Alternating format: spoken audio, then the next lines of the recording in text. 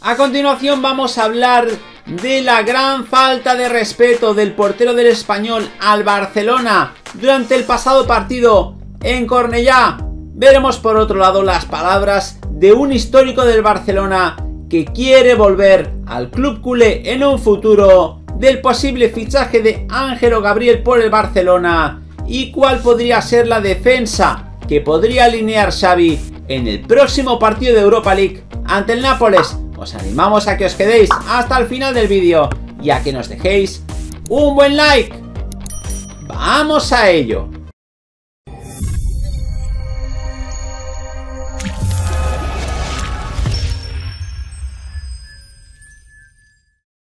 Hola de nuevo gente, ¿cómo estáis? Bienvenidos a un nuevo vídeo de Objetivo Gol. Vamos con la última hora del Barcelona y sin más dilación, vamos ya con la primera noticia y vamos a hablar de la tremenda falta de respeto al Barcelona de Diego López. La jornada 24 de la liga estuvo llena de emociones y golazos, uno de los encuentros que más chispas generó en el derby catalán entre el español y el Fútbol Club Barcelona, en donde ninguno de los dos pudo sacar ventaja y llevarse la victoria. Sin embargo, pese a los cuatro goles que hubo en el compromiso, varios sucesos interesantes ocurrieron fuera del campo. Uno de ellos lo protagonizó Diego López, el guardameta del equipo Perico, justo cuando se dirigía al vestuario en el entretiempo, Hernández Hernández pitaba al final de la primera parte y el portero gallego iba camino al vestidor acompañado del delegado de campo del equipo, Josep Toldrá, cuando vio un distintivo del Barça cerca del banquillo culé.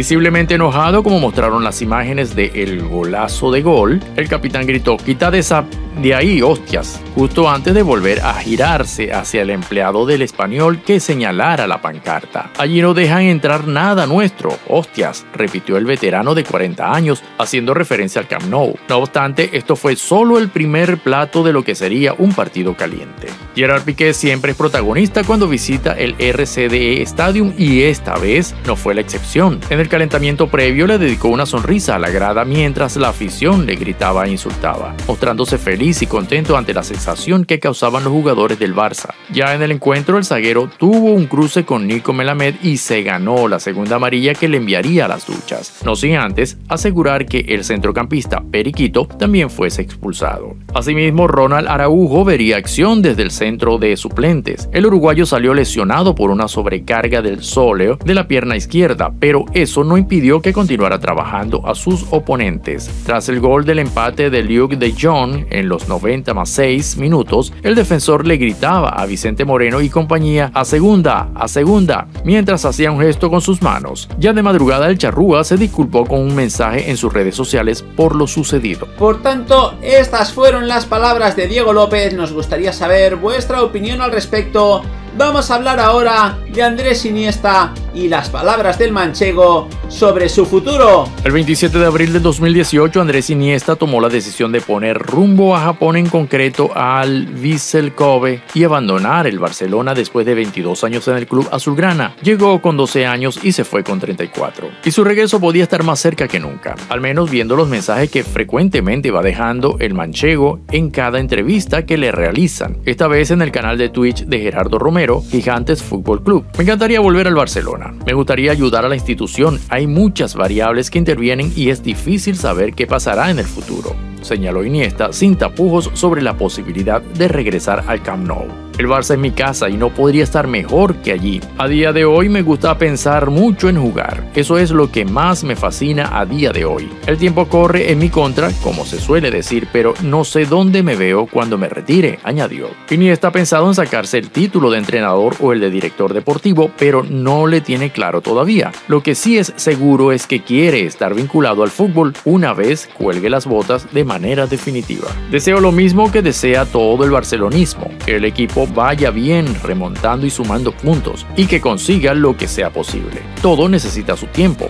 Poco a poco se van a ir viendo cosas muy positivas y los resultados irán acompañando, subrayó. Sobre la época dorada del barcelonismo, contestó, no sabemos si se va a repetir una época exitosa o no. Hay que intentar que vuelva a ocurrir. Lo realmente importante es saber cómo queremos que funcione el Barça. Además, se deshizo en elogios hacia Pedri, que tiene que ser él mismo, disfrutar de cómo juega y seguir creciendo. Mientras que de Gaby y Nico destacó que son dos futbolistas con un un talento y unas condiciones físicas brutales. Vamos a analizar ahora el posible fichaje de Ángelo Gabriel por el Barça. El Fútbol Club Barcelona tenía una deuda pendiente por cobrar al Santos, una que viene desde hace varios años a raíz del fichaje de Neymar Jr. El problema es que el club brasileño no tenía cómo pagar, por lo que varias cartas se colocaron sobre la mesa para poder condonar el débito. Una de ellas fue la opción preferencial sobre varios jugadores, más específicamente Angelo Gabriel, una de las joyas en ascenso del Brasileirao.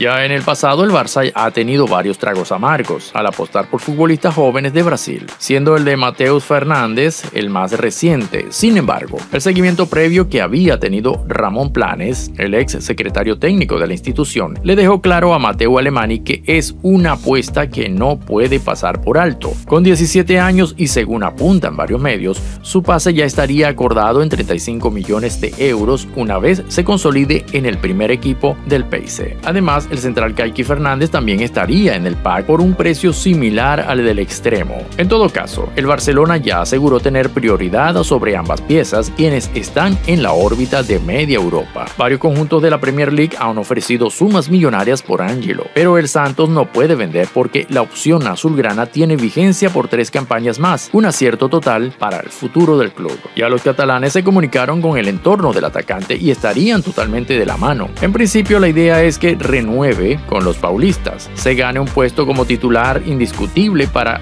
Fabio Carile y cuando cumplan la mayoría de edad, se tomará una decisión. Todo está encarrilado para que los culés le fichen cuando le vean preparado. Las alternativas parecen ser sencillas, o le compran o le traen al Camp Nou, o le fichan o lo revenden a otro club que esté tras sus pasos para sacar tajada de la operación. La decisión la tendrán Joan Laporta, Alemani y Xavi Hernández, pero hoy por hoy todos los ojeadores del Barça se han mostrado emocionados por la proyección del delantero. El tiempo dirá cuál será la posición de los barcelonistas cuando cumpla los 18 años, pero por el momento parecen que han cerrado un negocio redondo. Y ya para acabar, vamos a ver qué defensa podría sacar Xavi en el próximo duelo ante el Nápoles en Europa League. Las malas noticias se le acumulan al Fútbol Club Barcelona a pocos días de recibir al Nápoles en el Camp Nou. Este jueves, a las 18:45 horas, en el partido correspondiente a la ida de los playoffs de la Europa League, Xavi Hernández se ha quedado con muy pocas opciones para configurar su saga defensiva y el entrenador egarense estará obligado a sacar su pizarra y buscar alternativas para que el equipo pueda ser confiable a nivel defensivo cuando no contará con algunos de los jugadores que, en teoría, son titulares indiscutibles. Este lunes el Barça confirmó a través de un comunicado que Ronald Araujo está lesionado. En concreto, la entidad catalana anunció que las pruebas realizadas esta mañana han mostrado que el jugador del primer equipo R. Araujo tiene una sobrecarga en el sóleo de la pierna izquierda. La evolución marcará su disponibilidad. Así pues, el central Charrúa es duda para la visita del Nápoles al Camp Nou de esta semana. Podría forzar con tal de llegar al choque, pero también es una posibilidad muy arriesgada que podría terminar pasándole factura al jugador. Así pues, Xavi tiene que armar dos planes. Uno por si Araujo está disponible y el otro sin contar con el internacional con Uruguay. De llegar al partido no hay dudas de que formará parte de la saga defensiva junto a Gerard Piquet, como han venido jugando ambos en las últimas semanas. Si no está disponible comenzarán los problemas porque la única opción disponible en el banquillo es la de Eric García, quien tuvo una noche de espanto contra el español en el derby catalán. El ex del Manchester City fue el principal señalado en el gol del Raúl de Thomas, con el que el equipo dirigido por Vicente Moreno se puso por delante en el marcador. El delantero Perico recibió un gran centro, controló con el pecho y batió al guardameta culé. El central catalán le faltó contundencia y estuvo demasiado blando en la acción, castigando a un cuadro azulgrana que merecía estar por delante del marcador. Lo que resulta preocupante es que fueron dos errores en una misma jugada. Primero, Eric García rompió el fuera de juego y no saltó para intentar defender la jugada y evitar que un muy atento RDT controlara con el pecho para posteriormente batir al guardameta azulgrana. Sin embargo, en teoría, a Xavi no le queda de otra que jugar con Eric como acompañante de Piqué, porque la otra alternativa es un Oscar Mingueza que lleva semanas en el banquillo y no tiene la confianza del entrenador. Clement Lenglet y Samuel Umtiti, los dos centrales del conjunto culé, están también en la enfermería y no llegarán a tiempo para el partido.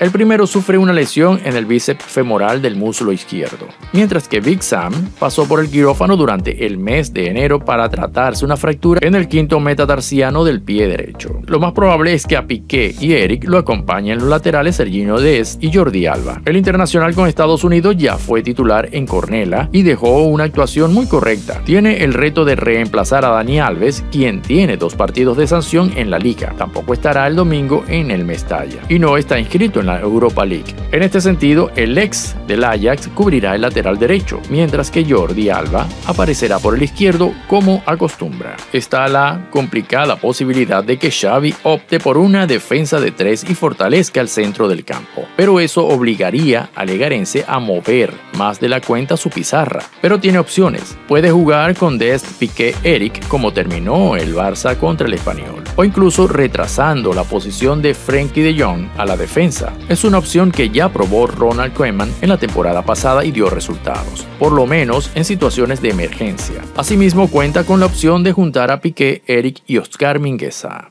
Nada más por el momento, como siempre animaros a que os suscribáis al canal para seguir viendo todos nuestros vídeos. Y aquí os dejamos este vídeo más que interesante para que sigáis disfrutando de todas las noticias del fútbol.